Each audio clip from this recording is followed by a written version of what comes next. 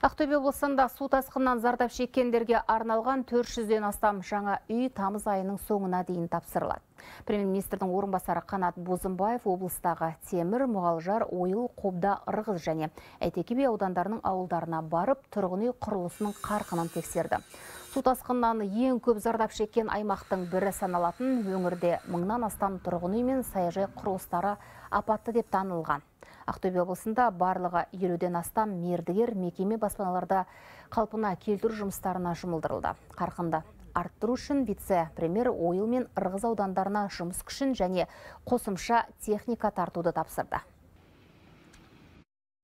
Зардап шеккендер соның ішінде жарамсыз қалған үйлері бойынша 518 үй сатып алу рәсімі арқылы бекітілсе, қазіргі таңда 475 сатып алып, тұрғындар өз үйлеріне кірді. Қалған үйлерді, пәтерлерді біз осы айдың аяғына дейін, 20-сына дейін, тамыздың 20-сына дейін толықтай аяқтаймыз деп жоспарлап отырмыз. Өңірде екі күн бір топ азаматтарды алып келіп мамандарды жұмыс істедік. Алты ауданда көріп шықтық. Жалпы облыста зардап шеккен үйлердің орнына бір мың жиырма жаңа үй беру керек тиісті тұрғындарға.